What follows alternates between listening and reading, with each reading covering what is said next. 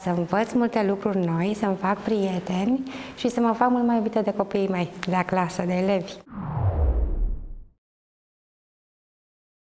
Aș menționa la clasă, pentru că pe mine, în primul rând, acest lucru mă interesează, faptul că i-am determinat pe elevii mei să vadă partea interesantă a instrumentelor digitale, care, partea aceasta care îi poate ajuta la lecție, care îi poate ajuta să învețe, să găsească resurse educaționale.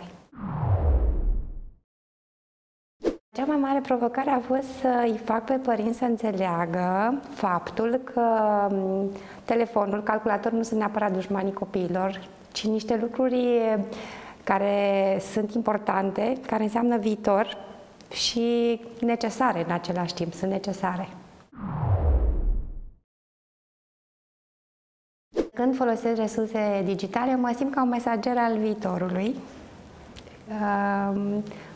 Îmi place să cred că pot să-i ajut pe copii să se bucure de, de, odată cu mine sau chiar mai mult decât mine de faptul că au voie să le folosească fără să aibă sentimentul de vinovăție.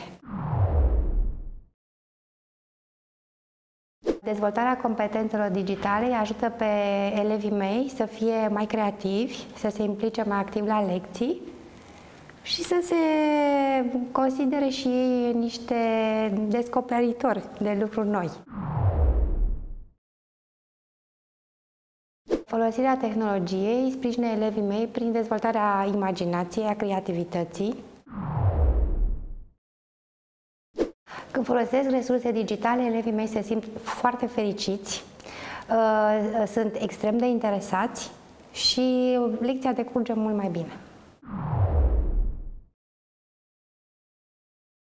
Aș uh, recomanda un învățător să folosească resursele digitale la clasă pentru că în felul acesta se va bucura de participarea 100% a elevilor, uh, de faptul că ei uh, vor fi mai activi și mai interesați de tot ceea ce se predă acolo. Îndreptarea digitală, într-un cuvânt, e greu de sintetizat. Înseamnă mai mult pentru mine un prieten, un colaborator, un facilitator,